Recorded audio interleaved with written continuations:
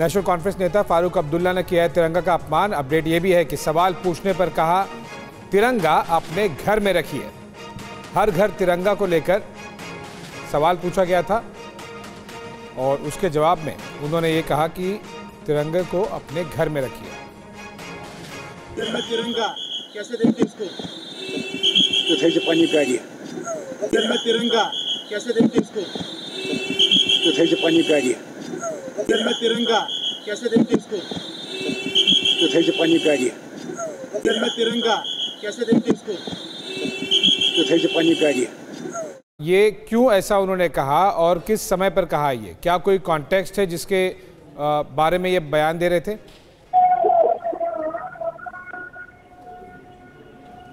इरफान आपको आवाज़ आ रही है? जी जी, आ रही है।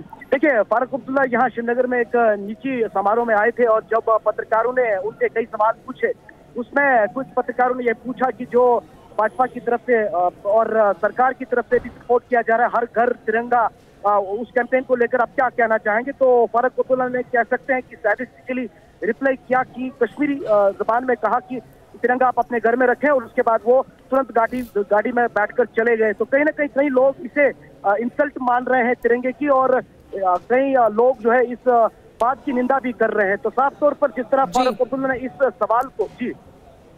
जी इरफान।